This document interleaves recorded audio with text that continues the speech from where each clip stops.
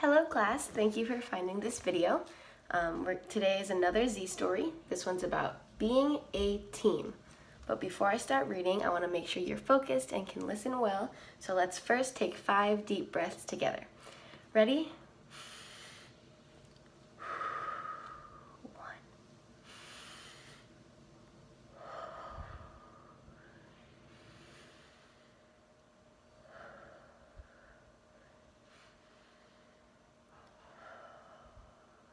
Last one, biggest one. Five. All right. So this story is about being a team. So let's think about what is something that you like to do with friends rather than by yourself? Because when, when you're with a team, you're not by yourself. A team is with other people. So what's something you like to do with other people? And when you play together with others, what are some things that you do to make sure that you are working as a team. All right, think about that. What are some things you do to make sure you're working as a team? So in this story, the kids help Z learn that, is it that it's important to cooperate and work as a team. That means that everyone listens to each other, shares, and helps one another. As you listen to the story, Pay attention to times the children and Z are not cooperating, so they're not working together. And think about what they could do to work as a team.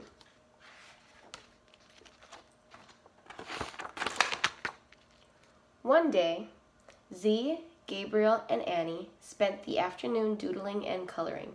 Z was drawing pictures of different things from Z's planet, such as gribbles and zorkles. I wonder what gribbles and zorkles are. Let's see if we can see in the picture. Huh, I don't know. After a while, Gabriel asked the others if they wanted to play with something new.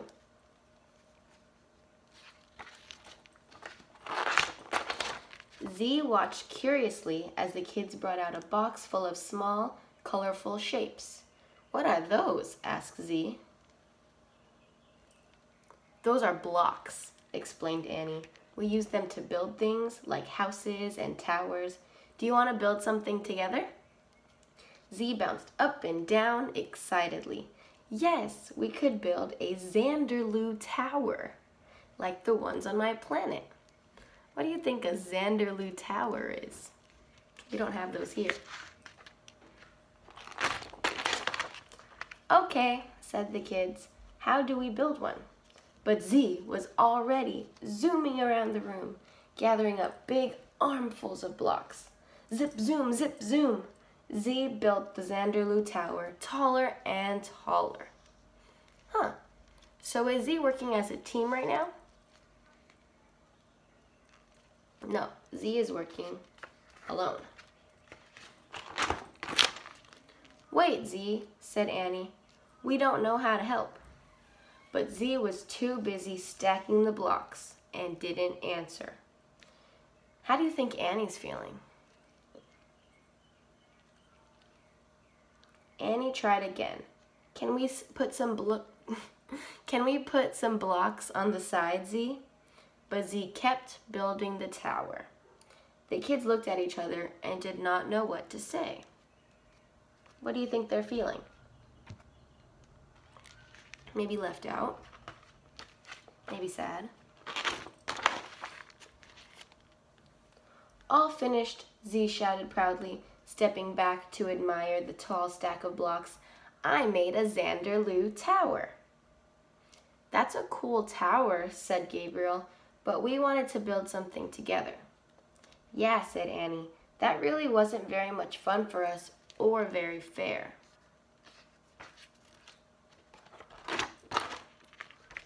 Whoops, Z. Z didn't understand how to cooperate and work as a team. What would you tell Z to do? I'll give you 10 more seconds to think about that.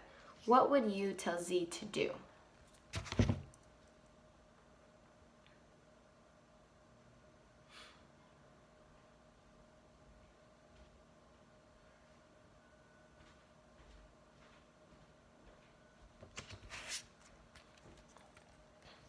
Maybe I would tell Z that next time Z should have thought about what everybody wanted to do instead of doing everything alone. Z looked around the room and realized that the kids were right. Z had taken almost all the blocks and built the tower alone. How do you think Z's feeling now? Maybe sad. I'm sorry that you didn't get to build it too, said Z sadly. Gabriel smiled. It's okay, Z. We know that you were just really excited and forgot to cooperate. What does that mean? asked Z. Cooperating means that everyone listens to each other and works together. If we all want to build something together, we need to work like a team. Yes, said Z. Let's be a team. First, the kids and Z decided what to build together next. Gabriel thought it would be fun to make a train station, and Annie suggested that they build a zoo. But then Z told the kids about the Zoobaloot towers and on Z's planet. After listening to everyone's ideas, they all decided it would be a lot of fun to build a huge Zoobaloot tower together.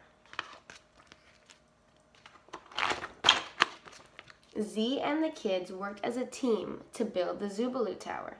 Sometimes they had to help each other with things they couldn't do by themselves. By cooperating, all the friends were able to work on the tower and they made one that was bigger and better than the first one. Look how huge that tower is. So since they worked as a team, they were able to make a bigger tower than Z could make by Z's self.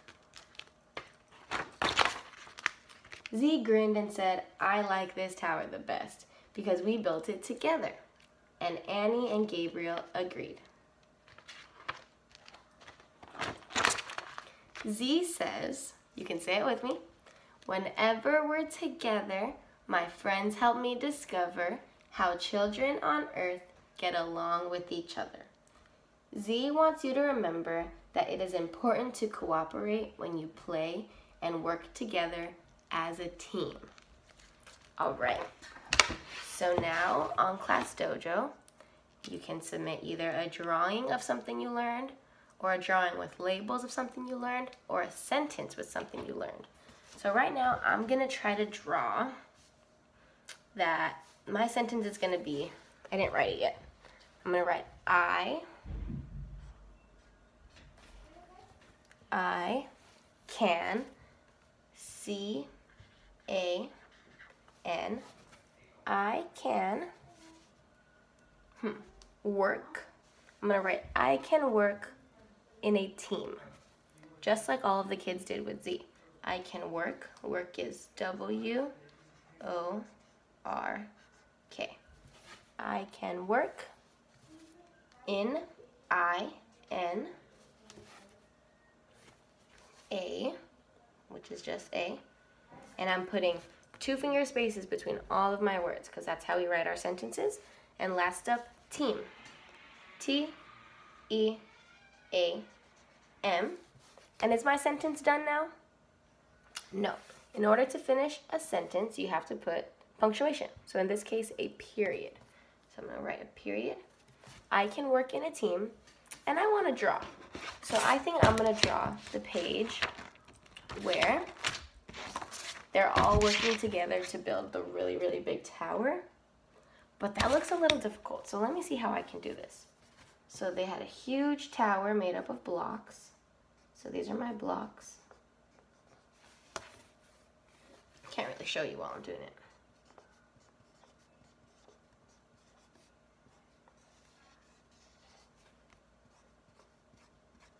All right, that's my tower. And now I'm gonna try to draw all of the kids on top of each other. Hmm, that seems a little hard.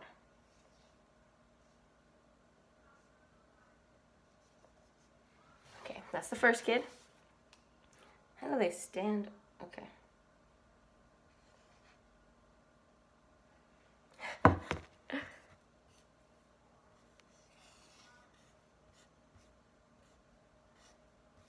okay.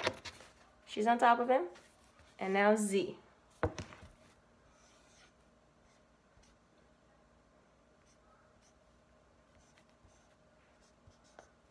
Okay, and Z has really big eyes. Oh my gosh.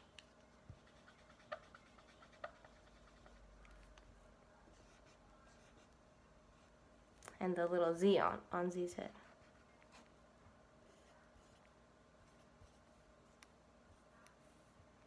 All right. So this is my drawing. You can choose which part you want to draw from the story to show me something that you learned.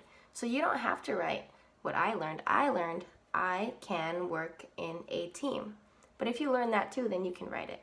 Just anything that you learned from this story.